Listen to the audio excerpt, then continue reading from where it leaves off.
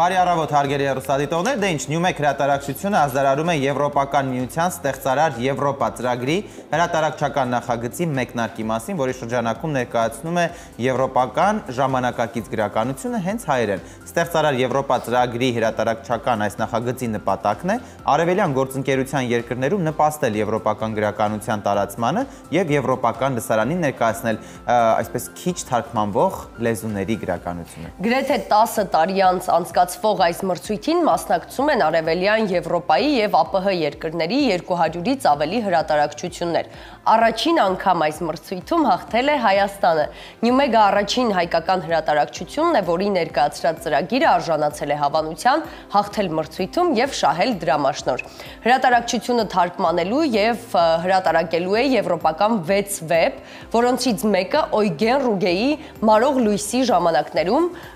եւ այսօր ներկայացնելու ենք հենց այդ գիրքը, խնդրեմ հիմա խոշոր պլանով կտեսնենք, այն իրավամբ համարում են գերմանական մեծագույն վեբ, եկեք դիտենք գրքի անոնսը, որից հետո արդեն կմեկնարկի մեր հերոստաշնորհանդեսը։ 1989 թվականում հոկտեմբեր Բերլինի պատի փլուզումը օրերի հարց է։ Խորհրդային կայսրության մայրամուտը մոտ է։ Տեսնում եմ ուր են գլորվում։ Ներքև։ Այո, իհարկե, խնդիրներ կան, բայց մենք դրանք կլուծենք։ Արևելյան Գերմանիան խորը քաղաքական ճգնաժամի մեջ է։ Չովեր։ Ամեն տեղ չովեր են։ Չով, չով։ Նկատի ունես Գորբաչովին։ Ես անուններ չեմ տալիս, բայց չեմ արգելում այդպես մտածել։ Կապիտուլյանտներ, երկերեսանի ավանտուրիստներ։ Առաջ գիտեինք ինչ անել դրանց հետ։ Կյանքի 70 տարիները կոմկուսին նվիրած Վիլհելմ Պովիլայտը պատրաստվում է նշել իր 90-ամյակը, բայց ընտանեկան խնջույքին առաջին անգամ թորը չի մասնակցում։ Նա անցել է պատից այն կողմ։ Նա ով փախել է երկրից, դավաճան է։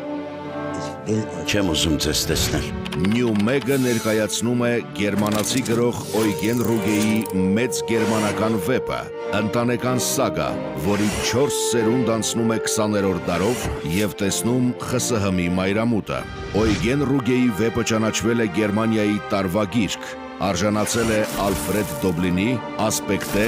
եւ բազմաթիվ այլ գրական մրցանակների։ Թարգմանվել է 30-ից ավելի լեզուներով, բեմադրվել է ու էկրանավորվել։ Այս բացառիկ ստեղծագործությունը թարգմանել է Մարիամ Գուրզադյանը։ Մարող լույսի ժամանակներում հրատարակվել է Եվրոպական միության ստեղծարար Եվրոպա ծրագրի համաֆինանսավորմամբ։ Գերմանական մեծագույն վեպը արդեն հայերեն։ Արևելագերմանացի Օյգեն Ռուգեն այս գիրքը գրել է Բերլինյան պատի փլուզումից ավելի քան 20 տարի անց։ Սա հեղինակի դեբյուտային վեպն է, եւ որը նրան բերել է համաշխարհային հրճակ եւ հրատարակվելուց անմիջապես հետո Մարող լույսի ժամանակներում վեպը ստացավ գերմանացի եւ Գերմանիայի գլխավոր գրական մրցանակը թարգմանվեց ավելի քան 30 լեզուներով եւ այս վեպի հիման վրա նաեւ նկարահանվեց համանուն ֆիլմ։ Սա ընտանեկան սագա է, մի գերդաստանի պատմություն, որն ընդգրկում է գրեթե ամբողջ 20-րդ դարն ու հանգուցալուծվում Բերլինյան պատի փլուզումով։ Հեղինակը գրքում ժամանակ առ ժամանակ մոտենում է ինքնակենսագրական ժանրին, երբեմն հանդես է գալիս որպես պատմաբան։ Վեպի հիմքում հենց իր հեղինակի ընտանիքի պատմությունն է։ Եկեք դիտենք եւս մեկ անոնց, որից հետո կվերադառնանք։ Օյգեն Ռուգեի դեբյուտը 20 տարվա ծրագրի արդյունքը լույս տեսավ Բերլինյան պատի փլուզումից գրեթե 20 տարի անց։ Հեղինակը միայն այդ ժամանակ կարողացավ ներկայացնել իր ոչ սովորական ընտանիքի պատմությունը, որը զուգահեռվում է խորթային միության պատմության հետ ու փլուզվում սոցլագերի հետ։ Գիրքը Գերմանիայում դարձել է բեսթսելեր, 2011 թվականին ստացել է Գերմանիայի գլխավոր գրական մրցանակը, թարգմանվել է ավելի քան 30 լեզվով, дարձել է բեսթսելեր նաև արևմտյան երկրներում։ Պարզվեց բոլորին է հետաքրքիր թե ովքեր էին ապրում Բերլինի պատից արևելք что так вышло, что э, там э, во Франции или э... Սկզբում զարմացա, որ այս պատմությունը հետաքրքրեց եւ ֆրանսիացիներին, եւ ամերիկացիներին, եւ չինացիներին։ Որքան էլ տարօրինակ է Օյգեն Ռուգեի դարակազմիկ այս գիրքը միայն 2017-ին թարգմանվեց ռուսերեն, թեև գործողությունը ծավալվում է խորհրդային միության տարածքում, հերոսների մի մասը ռուս է, մշակույթը, կենցաղը ռուսական է։ Точно не знаю, почему моя книга так поздно Անկեղծ ասած չգիտեմ իմ գիրքն ինչու այդքան ուշ թարգմանվեց ռուսերեն, ափսոս, որովհետև այդ գիրքը Ռուսաստանի հետ ընդհանուր շատ բան ունի, նաև Ռուսաստանի պատմությունն է։ Մարող լույսի ժամանակներում վեպը ընտանեկան սագա է, արևելագերմանական 4 սերնդի պատմություն, որն անցնում է խորհրդային դարաշրջանով ու ցույց տալիս սոցիալիզմի ճգնաժամը։ Եվ խորհրդային կայսրությունը եւ կոմունիստ Վիլհելմի ընտանիքը փլուզվում են 20-րդ դարի վերջին։ Das Buch äh, über, äh, überdeckt 50 Jahre Geschichte. Գիրքը ներկայացնում է 100-ամյակի կեսը, 50 տարի, եթե վերցնենք ընդհանուր առմամբ, ապա ամբողջ 20-րդ դարը։ Պատմում 4 սերունդների մասին, որոնք աստիճանաբար հեռանում են կոմունիզմից։ Սա հենց Ռուգեի ընտանիքի պատմությունն է, որտեղ ամեն մի պերսոնաժ իր արդարացումը, իր հիմնավորումն ու իր սկզբունքներն ունի։ Հեղինակն այս գրքում երբեմն մոտենում է ինքնակենսագրական ժանրին, երբեմն մոտենում պատմական աշխատության։ Իրականում սա արևելյան Գերմանիայի պատմությունն է, ներկայացված մեկ ընտանիքի հայացքով։ Э, На самом деле очень конкретно о ГДР. Ես գրում եմ Գերմանիայի դեմոկրատական հանրապետության մասին։ Սա ընտանեկան սագա է, մի ընտանիքի պատմություն, որը փլուզվում է ինչպես ԳԴՀ-ն, ինչպես սոցիալիզմը։ Ես փոքր ընտանեկան պատմություններով մեծ պատմական թեմա եմ ներկայացնում։ Այս գրքի բոլոր հերոսները տարբեր են ու հակադիր հայացքներով, ճակատագրի բերումով բոլորն էլ ստիպված են նույն հարկի տակ ապրել, բայց անընդհատ վիճում են, փնովում միմյանց։ Հեղինակն էլ հրաժարվում է դատավորի դերից, դառնալով իր ստեղծած կերպարների հոգեվերլուծաբանը։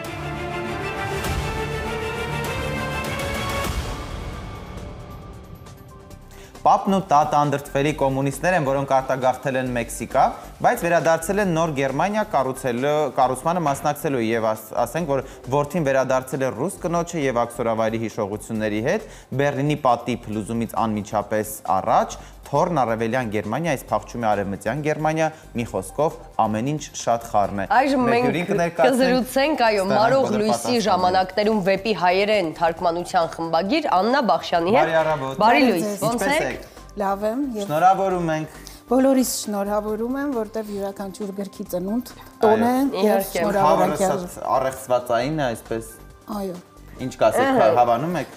Ես ընդհանրապես հավանում եմ Նյումեգի բոլոր գրքերի եւ չեք եւ տպագրության։ Բոլորը հավանում եմ, բոլորը հավանում եմ։ Լավ, խոսենք մի փոքր հեղինակի մասին, մի երկու խոսքով ներկայացրեք խնդրում ենք հեղինակին ու արդեն անցնենք գրքին։ Օյգեն Ռուգեն ժամանակակից գերմանացի գրող է, շատ հետաքրքիր ճակատագրի տեր, ը, անձնավորություն, ինքը ծնվել է Ռուսաստանում, մայրը ռուս է, հայրը գերմանացի, եւ ինչպես իր վեպի հերոսներն են, որոնց նախատիպերը շատ կան հենց Օյգեն Ռուգեի այս այս վեպում, մասնավորապես իր հայրը, որը եւ պատմաբան էր կոմունիզմ եւ հոր կերպարը մենք տեսնում ենք հենց Կուրտ Պո- Պովիլայտի կերպարն է ամբողջովին կան իրական դեպքեր, իրական նախատիպեր, բայց նաև հորինվածք, որը որ շատ գեղեցիկ միահուսվում է, շատ վարպետորեն Դա տարբերակելի է կարդացողի համար։ ոչ տարբերակելի չի համնային դեպս, որովհետև պատմական փաստերը, պատմական իրողությունները, կերպարները այնքան իրական են, որ շատ քիչ է հորինվածքը, որտեվ նույնիսկ երկու ռուս կանանց ներկայությունը անգամ ինքնակենսագրական է, որտեվ մայրը ռուս էր, բնականաբար տատիկը նույնպես եւ հայրն էլ անցել է գուլագի, սիբիրյան գուլագի այսպես ասած ը, իրոնիկ անունով մի գյուղ սլավա անունով որտեղ ծանոթացել էր իր կնոջ հետ, հետո միասին Գերմանիա են տեղափոխվել։ Ամեն դեպքում կարող ենք ասել ինքնակենսագրական է գիրքը, թե այդքան էլ չէ։ Կարող ենք ասել, այո, որ ինքնակենսագրական է, որտեվ նման խառնամուսնություն ռուս գերմանացի գուլագներում կյանքն անցկացրած աքսորավայրում, հետո վտարանդի որպես Մեքսիկայում Մեքսիկա գնացած որպես գերմանացի վտարանդի, հետո նորից Գերմանիայի դեմոկրատական հանրապետություն վերադարձած, մի խոսքով երևի մեծ մասամբ այո ինքնակենսա ապրված Պատմություն է։ այս պատմությունը։ Պատմությունը սերունդների մասին է, 4 սերնդի մասին է, որոնց բախտ է վիճակվել ապրելու կապիտուլյացիայի ենթարկված Գերմանիայում, երկատված Գերմանիայում Բերլինյան մեծ պատով բաժանված երկու ժողովուրդների անջրպետ հանդիսացող եւ երկու տարբեր տնտեսական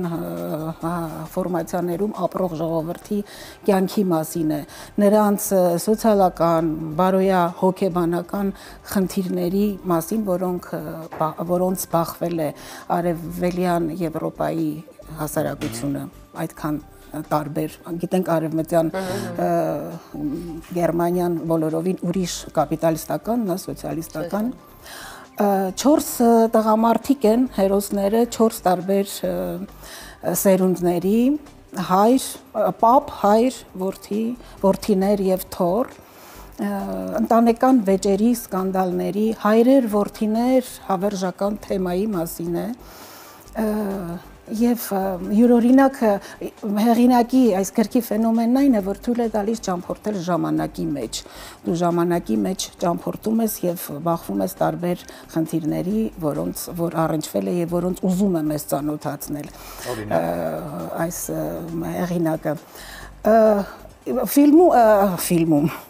ֆիլմն էլ կա դեր բայց հավանել եք ուրեմն չէ ֆիլմը անկեղծ ասած չէ մի քիչ թույլ էր իհարկե եւ հեղինակն էլ կարծես այդքան էլ գող չի եղել չէ ինքը համասցենարիստ համասցենարիստներ բայց ֆիլմը շատ փոքրիկ էպիզոդիկ պատմություն է վեպից վերցրած ամբողջական վեպի այսպես ասած պատկերը չի տալիս 20 գլխից վեպի 20 գլխից 6-ը միտումնավոր հոկտեմբերի 1-ն է 1989 թվականի եւ դա պատահական չէ, որովհետեւ գիտենք Բերլինյան պատը նոեմբերին փլուզվեց, այսինքն մի ամիս առաջ այդ փլուզումից այդ հոգեկան բարոյական ապրումները, միջանձնային հարաբերությունների բախումը, որ առաջանում են այդ ամենի հետ կապված է։ Բացի պատերազմական դրություններ, ինչ հոգեբանական բախումներ են ունենում։ Մենք ինչ վիճակում է եղել այդ ժամանակ հասարակությունը։ Իհարկե դրանք դաշան։ Ներողություն եմ խնդրում, ին դեպ այնտեղ մի հատված կար շատ լավ, սկզբնամասում ասում է պատը մարդկանց մտքում էր, մարդկանց ներսում էր։ Ենթադրում եմ դա լուրջ հետևանքներ է ունեցել։ Ինչ մասն է ասում, ներս Այսի հայացք է այդ ապրող համակարգում, որտեղ որ իրենք ապրել են այդ համակարգում։ Այն երկյուղների, այն վախի, այն կեղծ պաթոսի մասին է, որում որ ապրել են Գերմանիայի դեմոկրատական հանրապետությունում եւ այդ փլուզումից հետո ինչ է սպասվում իրենց երկու ժողովուրդներ, որոնք տարբեր աշխարհներում են ապրել, այժմ փլուզվում է եւ այդ վախերն են հա իրենց անպատրաստ լինելը այդ ամենի ֆիլմը վեպը դրա մասին է նաև հոգեկան այն ապրումների մասին, որոնք ունենում են, որոնք ունեն եւ եւ սպասվում է իրենց Ինչ ներողություն եմ խնդրում, ինչով էին տարբերվում պատից այս կողմ ապրող մարդիկ եւ այն կողմ ապրող մարդիկ։ Չնշենք, որ այնտեղ սոցիալիստական էր հասարակությունը, դե հենց դա պայմանավորված է տեսակներով, տեսակներով։ Ներսում էլ, ասենք ես որպես միջին սերնդի եւ իմ ծնողների ապրած կյանքն է։ Իրականում Գերմանիայի դեմոկրատական հանրապետության մարդկանց եւ այս վեպի հերոսների կյանքը հայելանման նմանակն է նաեւ մեր ապրած կյանքի։ Դուք երիտասարդ եք դուք չեք հիշում, բայց մենք բոլորս առնչվում ենք։ Օրինակ, ասում եք հայելայիններ, այ ինչպիսին է ձեր։ Կեղծ գաղափարախոսություն, կոմունիստական կուսակցության այսպես գերիշխումը։ Դուք դոզումներ անգիրանում եք օրինակ անգիր չէին կանում, դրանք մեր ենթագիտակցության մեջ էին։ Այո, ապրանքների, այսպես ասած, դեֆիցիտի, վատ վատորակ ապրանքների դեֆիցիտի, հոգեբանական տարբեր ոչ ազատությունը եւ մամուլի եւ գրականության, գրաքննություն, մի խոսքով բոլորս հիշում ենք եւ գրականության մեջ էլ դա շատ լավ արտացոլված է այդ ամենը։ Եվ միանգամից արդեն այդ երկար Կատյա վարակույրի բացվելուց հետո իհարկե մի քիչ ցնցումային է, բայց հետո կամած-կամած իհարկե ադապտացիա։ Իսկ մեր օրերում ինչով է նման այս գիրքը, հետաքրիր այսօրվա ընթերցողը, որ կարդա ինչ-որ համեմատական եզրեր կարող է անցկացնել այսօրվա ժամանակի հետ։ Նայած ինչ տարիքի եւ ինչ սերնդի ընթերցող մի քիչ ավելի տարեց ընթերցողները կարող են հետ հայացք ունենալ իրենց ապրանց կյանքի, նաև պատմական փաստեր կան այս վեպում, որոնք շատ արժանահավատ են եւ պետք է իմանալ այնպես ասա համամարտկային թեմա է այսինքն եւ կապ չունի դու սոց լագերում ես ապրել կապիտալիստական լագերում սա անցած մարդկային հարաբերությունների բարդ աշխարհն է, որը նաև պայմանավորված է եղել տվյալ տնտեսական ֆորմացիայով։ Շատ լավ, իսկ տերմինաբանական բարդություններ կային Իհարկե կային ցանկացած թարգմանական եւ խմբագրական աշխատանքում դրանք հանդիպում են ես պետք է նաև շնորհակալություն հայտնեմ ափսոս որ Մարիամը Գուրզադյան գրքի գրքի թարգմանիչը չկա այսօր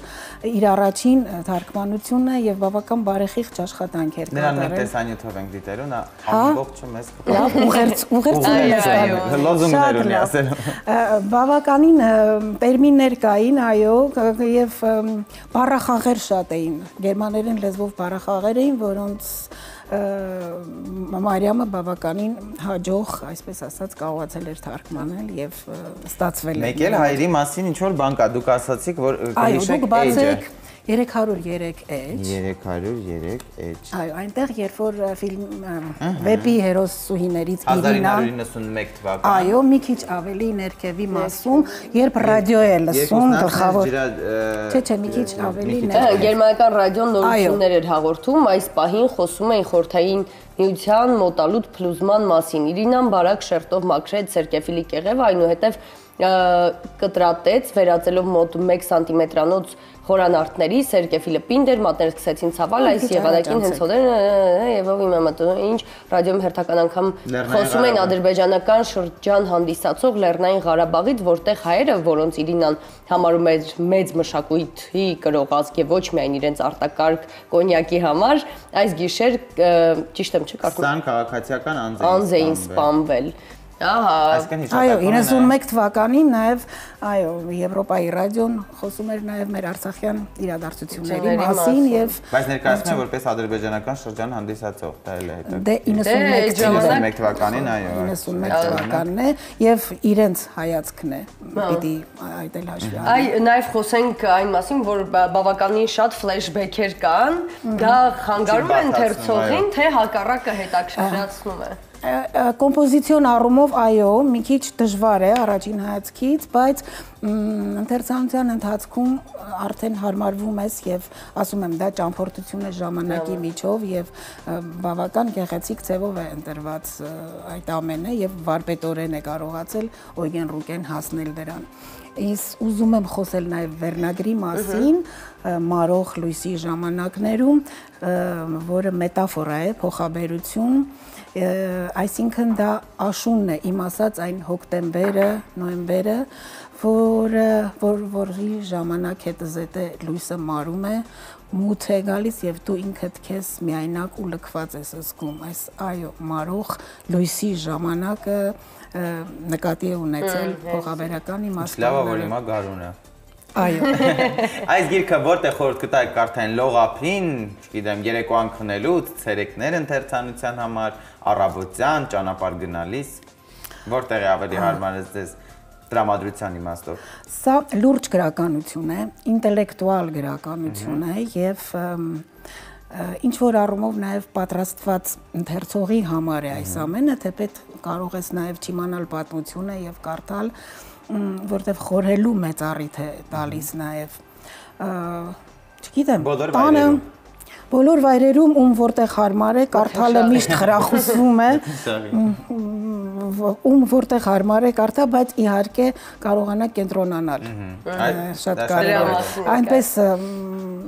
թեթև գրականություն չի, ինքը խորելու տեղիք տվող գրականություն է։ Դե ինչ, շնորհակալություն շատ, ձեզ նույնպես մի անգամ էլ ենք շնորհավորում։ Դե ինչ, եւ այսպես, ինչպես արդեն ասացինք, սա ինքնակենսագրական եւ ինքնագրական վեբ չէ, բայց մյուս կողմից հեղինակի Գերդաստանի պատմությունն է ներկայացում եւ Օյգեն Ռուգեի պատմական հայրը ակսորված է եղել Սիբիր եւ այնտեղ արդեն ամուսնացել է իր ռուս տիկնոջը Իրինայի հետ։ Վեպում Ալեքսանդրը պատի փլուզումից 1 ամիս առաջ փախչում է Արևմտյան Գերմանիա։ Իրականում Օյգեն Ռուգեն պատն անցել է փլուզումից 1 տարի առաջ։ Հարցազրույցներում հեղինակը հայտարարել է, որ Արևելյան Գերմանիան իր համար ձանձրալի էր։ Նա ուզում էր գրող դառնալ, բայց Դաշնային Հանրապետությունում չէր ստացվի։ Հեղինակի մասին դիտենք տեսանյութը վերադառնանք։ Օյգեն Ռուգեն ոչ միայն գրող է, այլև ռեժիսոր, դոկումենտալիստ, թարգմանիչ եւ մաթեմատիկոս։ Նա ծնվել է ԽՍՀՄ-ում Սվերդլովսկի Սոսվա գյուղում։ Օյգենի հայրը Գերմանիայի Դաշնային Հանրապետության պատմաբան էր, որն ավելի քան 10 տարի տառապել էր Սիբիրում։ Նրան ակսորել էր խորհրդային իշխանությունը։ Mein Vater ist ein 16-jähriger junger Kommunist Կոմունիստ հայրս 16 տարեկանում տեղափոխվել է ԽՍՀՄ եւ ակսորվել է 21 տարեկանում։ Նրա պատմությունը ներկայացված է վեպում։ Ընտանիքի մի մասը Գերմանիա է վերադառնում Մեքսիկայից, մյուս մասը Ռուսաստանից։ Հենց այնտեղ էլ 1954 թվականին ծնվել է Օյգեն Ռուգեն, չնայած աքսորին Օյգենի հայրը համոզված կոմունիստ էր ու պատիժն ավարտելուց հետո վերադարձել է Արևելյան Գերմանիա։ Die andere Hälfte kommt aus äh, Russland. Մայրս ռուս է, հայրս գերմանացի։ Ես 2 տարեկան եմ եղել, երբ ընտանիքով տեղափոխվել ենք Գերմանիա։ Օյգեն Ռուգեն համալսարանում սովորում է մաթեմատիկա, որովհետև սիրահարված էր իր մաթեմատիկայի ուսուցչուհուն։ Նրանք նույնիսկ մի շրջան ամուսնացած են եղել։ Համալսարանն ավարտելուց հետո Ռուգեն աշխատում է գեոֆիզիկայի ինստիտուտում։ Միայն 1986-ին է սկսում զբաղվել գրողի կարիերայով։ Թատրոնի եւ դոկումենտալ ֆիլմերի համար սցենարներ էր գրում։. Ես Արևելյան Գերմանիայից փախա պատի փլուզումից 1 տարի առաջ։ Մի պատճառն այն էր, որ ԳԴՀ-ում կյանքն անտանելի ու ձանձրալի էր։ Ամեն ինչ գորշ էր։ Համարում էի, որ այդ երկիրն ապագա չունի։ Ես ուզում էի գրող դառնալ, բայց այդ երկրի մասին ես չէի կարող գրել։ Արևմտյան Բերլինում Օյգեն Ռուգեն նվիրվեց թատրոնին, ռադիոյին ու կինոյին, սկսեց թարգմանություններ անել։ Նա մեկը մյուսի հետևից գերմաներեն էր թարգմանում Չեխովի պիեսները, բայց երկար տարիների իր երազանքին չէր մոտենում, գիրք չէր գրում։ Und es dauerte einfach 20 տարի էր պետք, որ ես տրամադրվեի այս գիրքը գրելուն։ Ավելի ճիշտ 17 տարի մտածել եմ 3 տարում գրել։ Գրական աշխարհում Օյգեն Ռուգեի դեբյուտը կայացավ 2011 թվականին։ Մարող լույսի ժամանակներում գրքի համար նա ստացավ Գերմանիայում ամենապատվաբեր գրական մրցանակը։ Մեկ տարի անց Ռուգեն հրատարակեց մեկ այլ պատմություն՝ իր հոր կյանքը խորթային աքսորում։ Հիմա Ռուգեն դարձել է Բերլինյան պատի կործանման խորհրդանիշը, կամուրջ ոչ միայն նախկին երկու Գերմանիաների, այլև այսօրվա Գերմանիայի ու այսօրվա Ռուսաստանի միջև։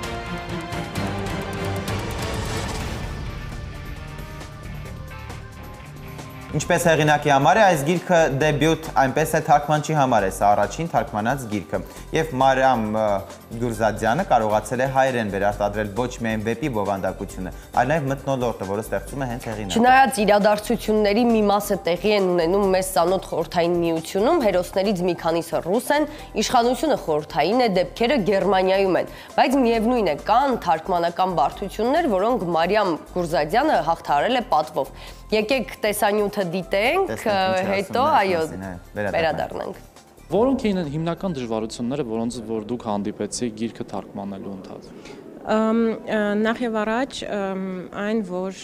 սա վեպ էր եւ բավականին ծավալուն էր եւ ինքը իր կառուցվածքով բավականին բարդ էր ոչային առումով, քանի որ այնտեղ հատվածներ կան եւ բառեր կան եւ արտահայտություններ կան, որոնք որ տարբեր կոնտեքստներում եւ տարբեր հերոսների կողմից կրկնվում են, այսինքն անհրաժեշտություն կար անընդհատ նշումներ անելու, որպեսի չմոռանանք թե նախորդ գլխում տվյալ հասկացողությունը կամ նկարագիրը ինչպես էր թարգմանվել եւ իմ պատը այսպես ասած փակցված էր տարատեսակ փոքրիկ թղթիկներով, որի վրա գրած էին ինչ որ նրբություններ եւ պետք էր այդ ամենը հաշվի առնել։ Սա առաջին ասպեկտն է։ Երկրորդը իհարկե այն, որ լեզուն գրողի լեզուն ինքը բավականին կարճ է, լակոնիկ եւ պետք էր փորձել մնալ այդ նույն ոճի մեջ, ինչը որ հաճախ հնարավոր չէր, քանի որ գլուխներ կան, որտեղ որ հերոսի մոտ ներքին մոնոլոգ է եւ այդ ներքին մոնոլոգը տեղի է ունենում առանց որևէ կետադրական դաթարի եւ ուղակի այսպես մտքերի շարադրանք է մի քիչ Ջոյսի ոճին բնորոշ եւ համապատասխանաբար դա դարձնել հայրեն հասկանալի եւ ինչ որ առումով ընթերնելի բավականին խնդրահարույց էր սա երևի թե երկրորդ ասպեկտը եւ երրորդը իհարկե դա խոսակցական լեզուն էր որը որ մենք գիտենք թե ինչքան բարդ է դա հայրենի առումով այսինքն հայ, հայրեն թարգմանությունների դեպքում շատ հաճախ ենք առնչվում այն հանգամանքին, որ տեքստը շատ հաճախ դառնում է արհեստական դա այն խնդիրն է, որը որ ես ինքը շատ հաճախ ունենում եմ որպես ընթերցող, ես սկսում եմ կարդալ եւ ինձ դուր չի գալիս այդ արհեստականությունը, եւ քանի որ վեբում բավական շատ էր օգտագործված խոսակցական լեզուն, եւ ես էլ փորձում եի հնարավորինս մոտ լինել հենց հեղինակի խոսքին, իմ թարգմանության մեջ խոսակցական արտահայտությունները ի սկզբանե բավականին շատ էին։ Հետո արդեն խմբագրի հետ երկխոսության արդյունքում ինչ որ բաներ շտկվել են, բայց դա էլ այն խնդիրներից մեկն էր, որը որ բավականին դժվար էր ճիշտ լուծում գտնել։ Եվ եւս մի ասպեկտ դա բառախաղերն էին։ Վեբում կային բազմաթիվ բառախաղեր, որոնք որ բնորոշ էին հենց միայն գերմաներեն լեզվին եւ գտնել հայրենի համարժեքը պահպանելով բառախաղը շատ դժվար էր եւ այդ մի երևի 3-4 հատվածների վրա ես բավական շատ ժամանակ եմ ծախսել։ Նրա գերմաներենը ամբողջովին ողողված է նախ նախ եւ առաջ ռուսական առողջությամբ, այսինքն դա էլ պետք էր զգացնել տալ թարգմանության մեջ, եւ երկրորդը անընդհատ կրկնվող ինչ որ արտահայտություններ, որոնք որ գերմաներենում հենց այդպես նո լատինատար, բայց ռուսերեն գրվում են եւ մենք պահպանել էինք այդ նույն ձևը, մեզ համար ավելի հա, հասկանալի կլինի, այսինքն այստեղ ինչ որ հետգրություններ անելու կարիք կարծում եմ չկար, բայց այո, ռուսերենի արկայությունը բնականաբար կա վեբում։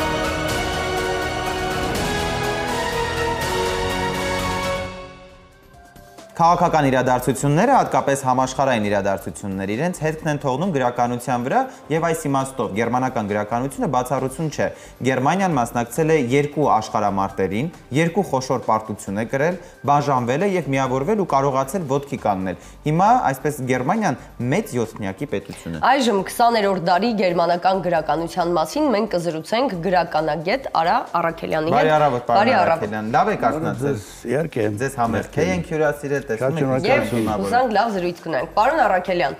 նախ ինչ կասեք այս գրքի մասին, ձեր կարծիքը։ Օգեն Ռուգեի գիրքը լավագույններից մեկն է այսօրվա եվրոպական գրականության առումով, որովհետև բացի անձնական խնդիրներ ինքնակենսագրական շերտ բերելուց, բերում է նաև շատ լուրջ քաղաքական շերտ, որը կապված է այսօրվա գերմանացուն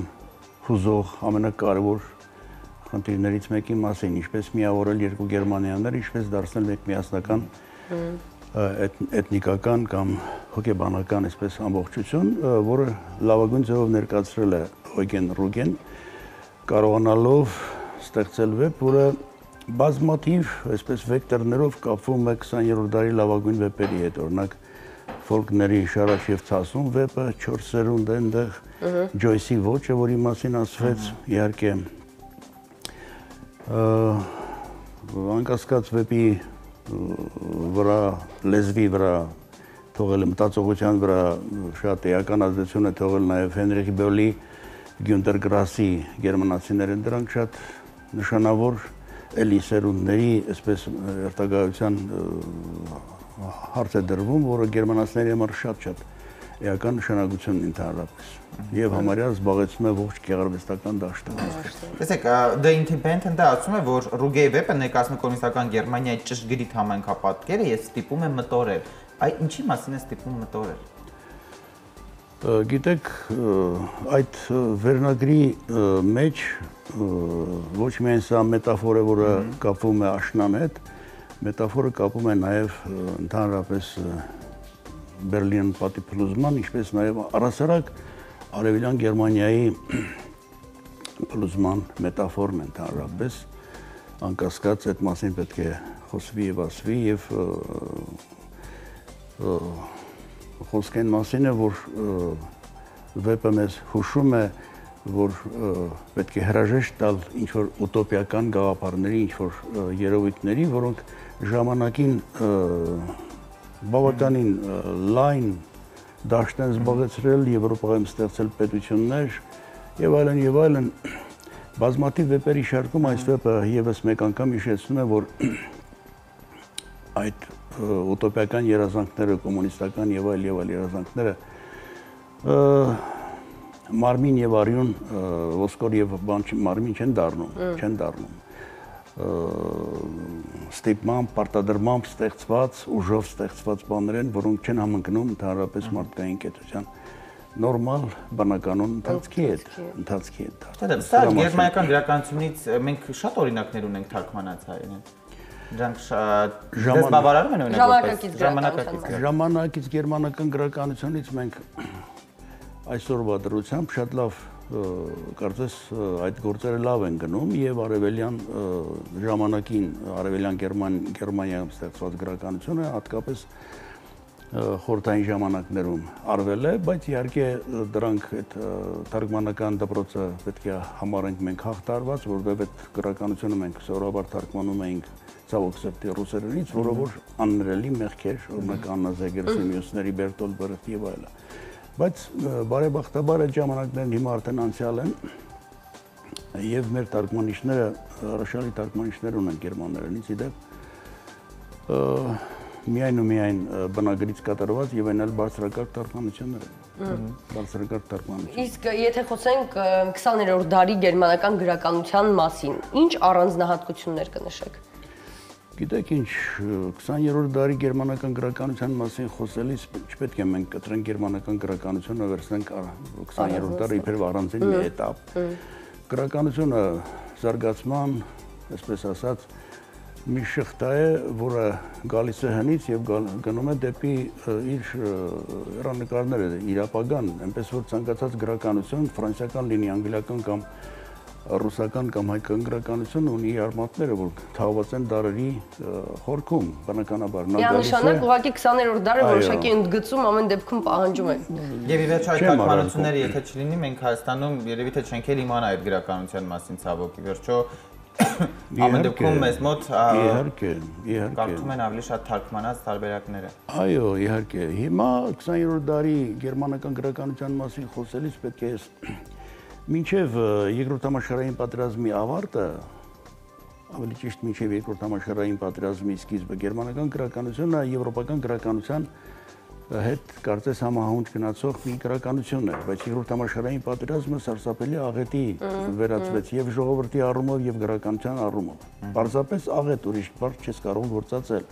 Եվ դա երևի թե արտացոլվում է նաև գրականության։ Այո, այո, այո։ Մի տեսակ գերմանական մտավորականությունը դուրս մղվեց համաեվրոպական է հումանիստական շարժման ոլորտից եւ կարծես թե դա իր դրոշը թողնում է ոչ գերմանական մտածողության վրա։ Ստիպված եղավ գերմանական մտավորականությունը ստեղծել մի շարժում, որի անունն է 47-ի գրուպը, 47-ի խումբ։ Դա ինչ է։ 47-ի խումբը ստեղծվեց այն 47 թվականին։ Եվ ուրեմն մտավորականները, գերմանացի գրողները կանգ առան մի շատ կարևոր խնդրի առաջ կատարվել է մեղք մեծագույն, այսպես ասած, հանցագործություն մարդկության հանդեպ։ Եվ այնքան ժամանակ, քանի դեռ դու չես կատարում խոսքը, չես ընդունում քո խղճի այսպես տելադրանքով ստեղծված այդ հոգեբանական իրադրությունը, այսինքն ես մեղավոր եմ, ես մեղավոր եմ։ Դու առաջ գնալու տեղ չունես, պատ է, չես կարող։ Եվ 47-ի այդ խմբի բոլոր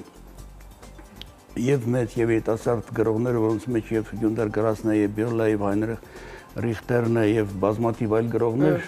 գրողներ ստիպած եղան կատարել այդ խոստովանական այդ այո այո քայլը, որից հետո նոր նոր բացվեց, բայց իհարկե դա դեռ դա դեռ սկիզբն էր, դա դեռ սկիզբն էր, որովհետև երբ որ դու խոստովանում ես, դա նշանակում է բազմաթիվ բազմաթիվ հետագա սերունդներ, դու պետք է կարողանաս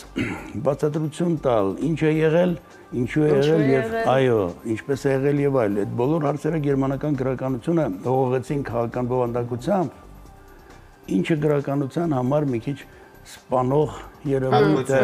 սպանող երևույթ է։ Ասեմ ձեզ, այսինքն։ Այո, այո, սպանիչ երևույթ է։ Երկե քաղաքականությունը գրականությունից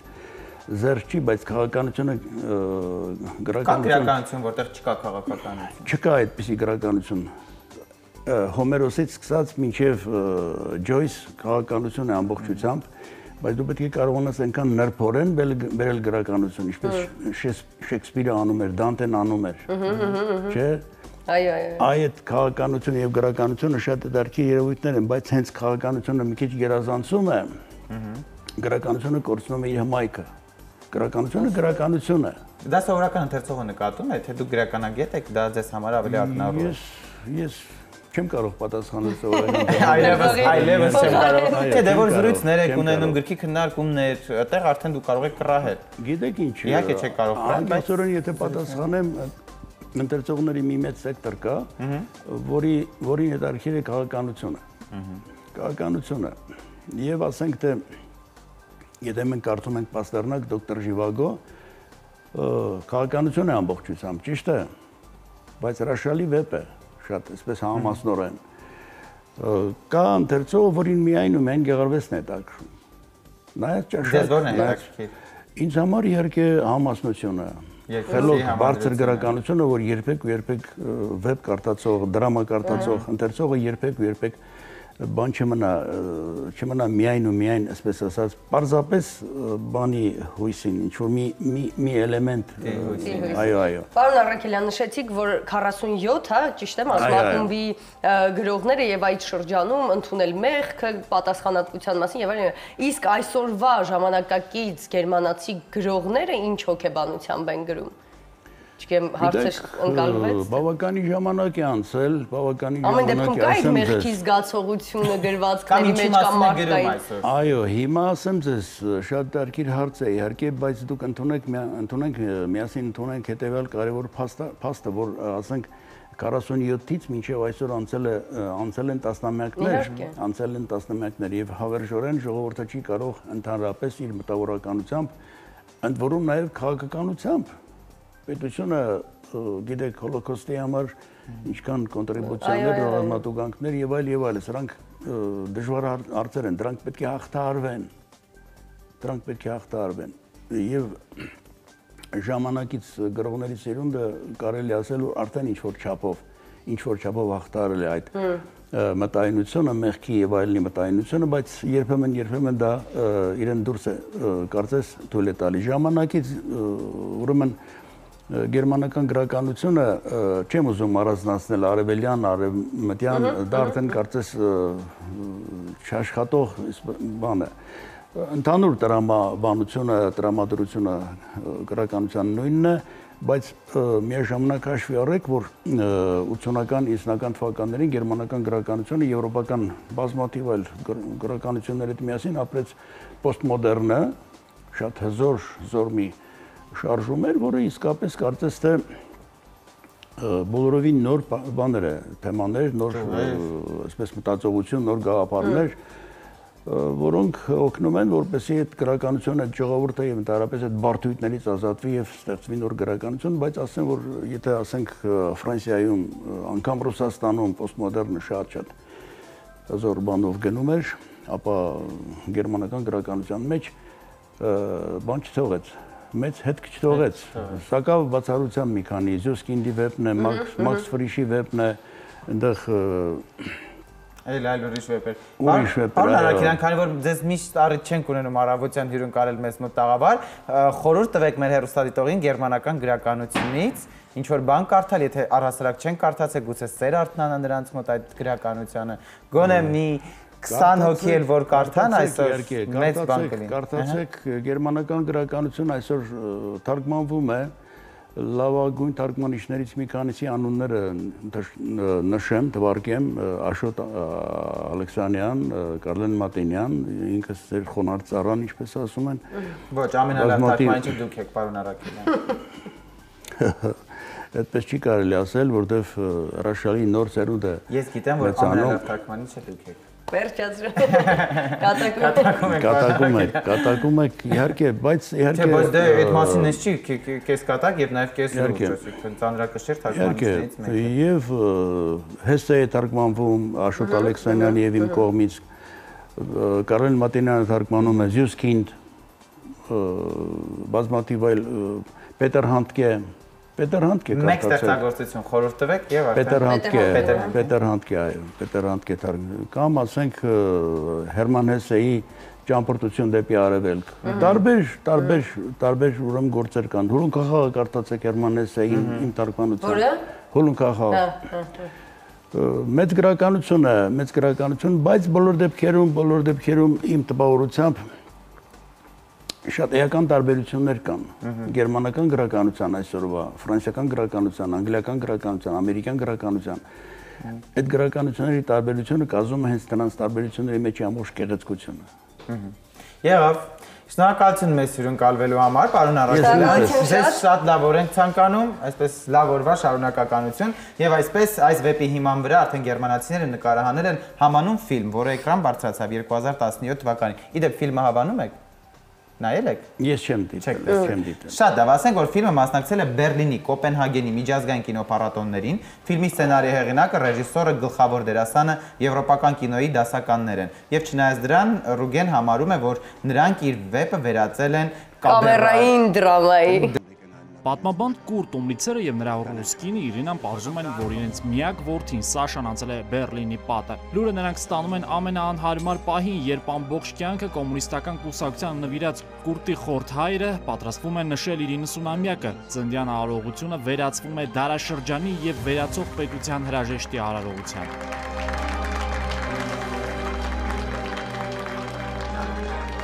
Մարող Լուիսի ժամանակներում ֆիլմը էկրան բարձրացավ 2017-ին։ Ֆիլմի ռեժիսորը Գերմանիայում հայտնի Մատի Գեշոննեկն է։ Գլխավոր դերում շվեյցարացի Բրունո Գանցն է։ Սցենարի հեղինակը արդեն դասական դարձած Վոլֆգանգ Կոխաձեն է, որը ոչ թե գիրքն է էկրանավորել, այլ գրքից մի գլուխ է վերցրել ու ստեղծել իր պատմությունը։ Շատ լավ ֆիլմ է ստացվել։ Սցենարի հեղինակը Վոլֆգանգ Կոլխաձեն վեպից դուրս է անել մի հատված եւ կարողացել է դրա վրա կառուցել իր սեփական պատմությունը։ Հատկապես լավ է փոխանցել մտնոլորտը։ Փայլուն դերասաններ են խաղում։ Մարող Լուիսի ժամանակներում վեպի հեղինակը համարում է, որ այս ֆիլմն իր մեծ կտավի ստեղծագործության միայն մեկ դրվագն է։ Իր հարցազրույցներից մեկում Օյգեն Ռուգեն նկատել է, որ սցենարի հեղինակն իր վեպը վերածել է կամերային դրամայի։ Ինչն է ինձ անհանգստացնում, այս ֆիլմում էպիկական պատումը վերածվել է կամերային դրամայի։ Շատ լավ կամերային դրամա է, որն ինձ համար որպես հեղինակի դառնում է մի գտալ Կուպեր, Մեղրի 40։ Ֆիլմի ռեժիսորը Մատի Գեշոնեկը նույնպես ընդհանուր պատմություն ունի Ռուսաստանի հետ։ Նա 4 տարի սովորել է Վգիկում, ճանաչել է մարդկանց, որոնք խորթային համակարգի զոհն են դարձել։ Հենց այդ պատճառով նա իր ֆիլմում ճշգրիտ ներկայացրել է ժամանակաշրջան։ Այս ֆիլմն ավելի շատ ոչ թե Բերլինի մասին է, այլ մի ամբողջ համակարգի կործանման։ Այդ ժամանակաշրջանի եւ այդ յուրահատուկ ընտանիքի մասին պատմելը կարեւոր է։ Իսկ այդ ընտանիքն իսկապես յուրահատուկ է, որովհետեւ ներկայացնում է այդ շրջանի ԳԴՀ իստեբլիշմենթը։ Ռուսաստանում ֆիլմի պրեմիերայից հետո ռեժիսորը հայտարարեց, որ այս ֆիլմը գերմանացի հանդիսատեսը չի հասկացել ու չի ընկալել։ Չնայած ֆիլմը նկարել են գերմանացիները եւ Գերմանիայի պատմությունն է, բայց ֆիլմն ավելի շատ արտասահմանցիներն են հասկանում ու գնահատում։ Գերմանացի հանդիսատեսն այս ֆիլմը չհասկացավ։ Հենց այդ պատճառով գերմանական մի քանի կայքերում եւ IMDb-ում նրանք հիմնականում ցածր են գնահատել ֆիլմը։ Մերօրյա գերմանացիները փորձում են չվերիշել ԳԴՀ պատմությունը, որին նվիրված է այս ֆիլմը։ Ֆիլմը 2017-ին մասնակցել է Բերլինի, Դանիայում Կոպենհագեն Պիքսել միջազգային կինոփառատոններին, Ֆրանսիայում Փարիզի գերմանական ֆիլմերի փառատոնին։ Այս ֆիլմը պետության անվտանգության մասին չէ, զոհերի մասին չէ, ԳԴՀ հաշվետվությունը չէ եւ սոցիալիզմի դատավճիռը չէ։ Սա հիշողություն է առանց կարոտի եւ մեծ հաշվով մեծ թախիծի մասին է։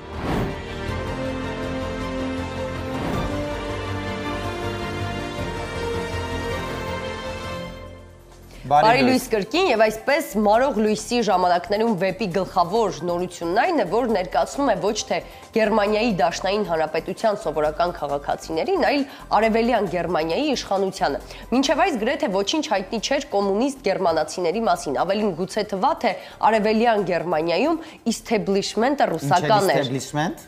Իշխող, խմբակ, հա։ Զորո։ Զորապետական ներկայացնում, մի րոպե դա ասեմ։ Զորո, դուք մեզ լսում եք։ Այո, Ինչ է։ Վերնախավը, այո։ Եվ իրականում այդպես չէր parzվում է եւ այժմ մենք կզրուցենք Մարող Լույսի ժամանակներում վեպի հայերեն թարգմանության նախագծի համակարգող Զորա Փարոյանի հետ։ Բարի լույս։ Շնորհավորում ենք նոր գրքի համար։ Շնորհակալություն Ձեզ դուր է գալիս cover-ը։ Շատ, իհարկե։ Իսկ որ cover-ն է գրքի քեզ դուր եկել Նյումեգի այս ընթացքում։ Ինչով այս բանը։ գրեթե բոլորը մենք այդպես միասին քննարկում ենք եւ Իսկ որն է դուր եկել։ բոլորը։ Եվ այսպես Զորապ ով է այս գրքի ընթերցողը ըստ ձեզ։ Գրքի ընթերցողը առաջին հերթին դա 20-րդ դարի պատմությամբ հետաքրքրվող մարդիկ են եւ այն ուսանողները, որոնք որ ուսումնասիրում են 20-րդ դարը։ Երկրորդ խումբը կարող է լինել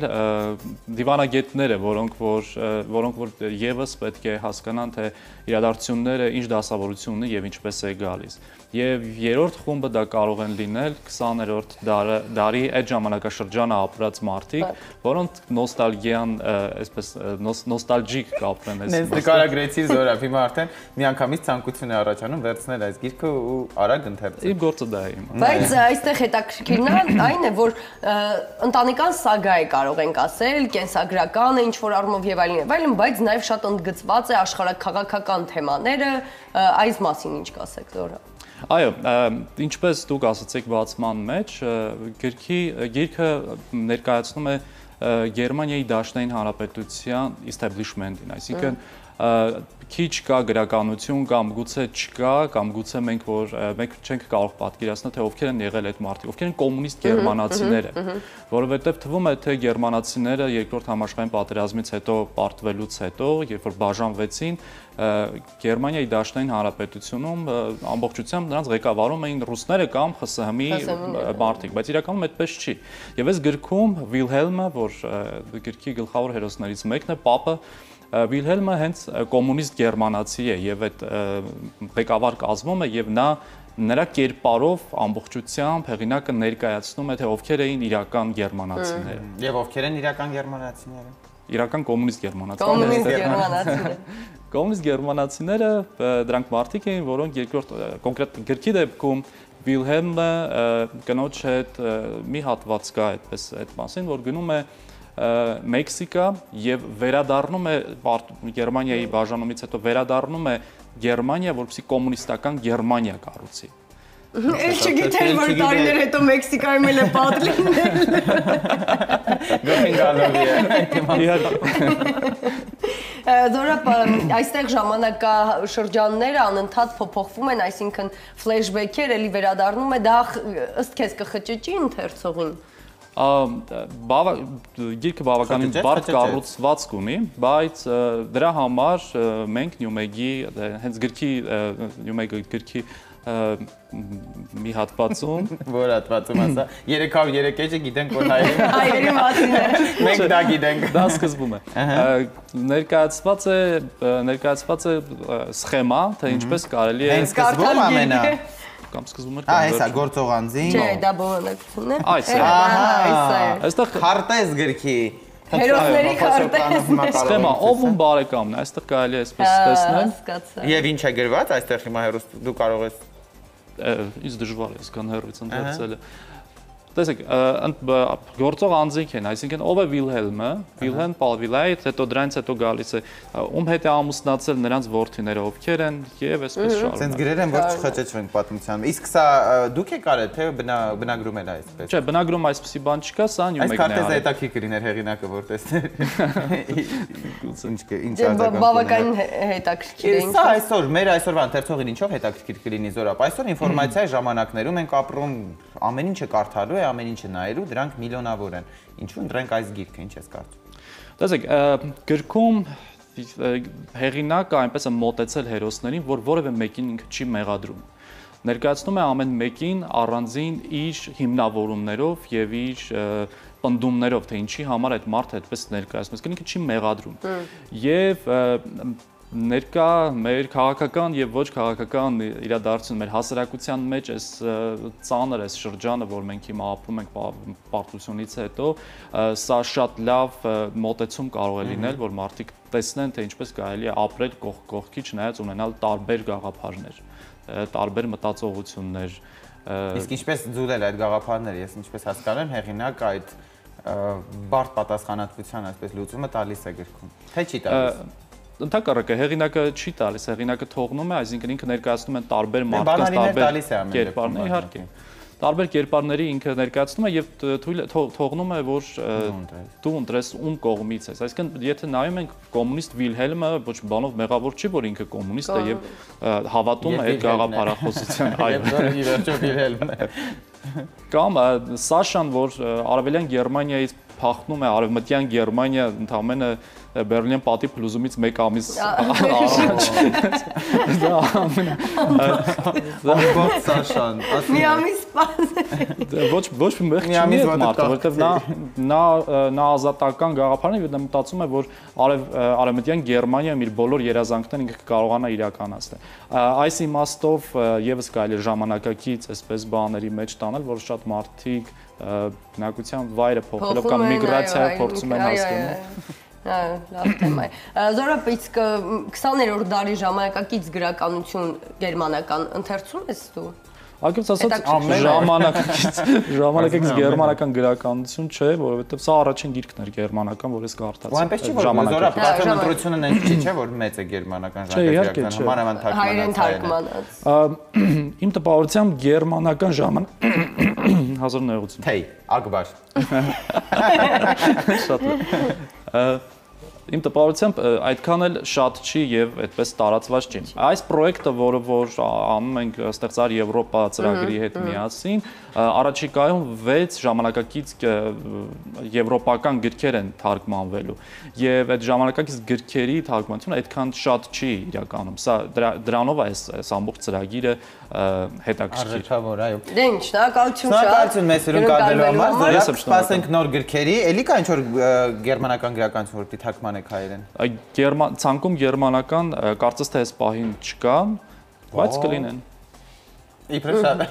Դե ինչ։ Վաղը վաղը Դավիթ Սարգսյանի հետ արդեն կասենք չեխական գրականություն։ Վաղը չեխական գրականություն։ Շնորհակալություն Զորապ։ Կամ շվեդական, դա արդեն կճշտեք։ Դե ինչ շնորհակալություն Զորապ, սա այս գրքի մասին համաշխարհային մամուլում տասնյակ անդրադարձեր կան։ Պետք է ասենք, որ միջազգային պարբերականները համարում են, որ Մարող լույսի ժամանակներում վեպը այնքան տպավորիչ է, որ ընթերցողներից կար ժամանակ անց ընթերցանությունից կար ժամանակ անց։ Ցանկանում ես ուղակի կրկին վերընթերցել։ Ես դա այդ պասը մի փոքր չեմ պատկերացնում, պատկերացնում ես այսքան պատմական ակնարկներով, բայց այդքան հետաքրքիր։ Հետաքրքիր։ Այժմ եկեք տեսանյութով ներկայացնենք համաշխարհային պարբերականների անդրադարձ այս վեպի մասին։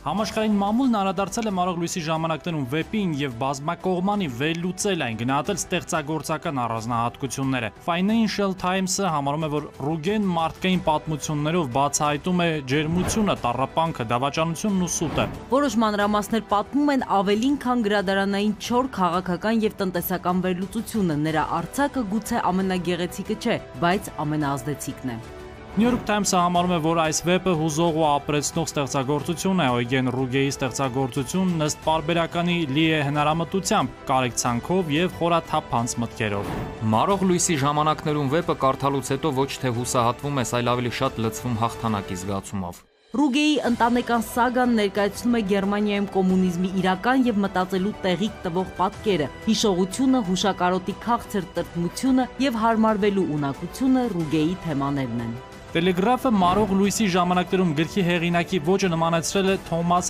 Մանի ոճին։ Պարբերականը նկատել է, որ վեպի սկզբից մինչև վերջ էջերն ինքնըստինքյան շրջվում են, ընթերցողն ընկղմվում է հուզիչ պատմության մեջ։ Այս յուրօրինակ վեպը եւ դասեր է տալիս եւ ուրախացնում է եւ հուզում։ Ոչ միշտ կգտնեք այս որակի գեղարվեստական գրականություն։ Այս վեպն ինքնաճանաչման մասին է, բայց չի սահմանափակվում դրանով։ Այն հստակեցնում է ըմբոստության եւ հարմարվողականության սահմանագիծը։ Գարդիանը նկատել է, որ հեղինակը ամբողջությամբ նվիրվել է կերպարներին, նրանց հետ ապրում է եւ լիարժեք ներկայացնում նրանց պատկերացումները։ Հեղինակը գրքի իրար հաջորդող գլուխներում ներկայացնում է իրադարձություններ, որոնք տեղի են ունենում տասնամյակի տարբերությամբ։ Համաշխարհային մամուլը նաև գրել է, որ ընթերցողն իրադարձությունները տարբեր կերպարների տեսանկյունից դիտարկելու հնարավորություն ունի։ Մեկը դիտարկմամբ այս գիրքը կարդալուց շատ չանցած ուզում ես վեր ընթերցել այն։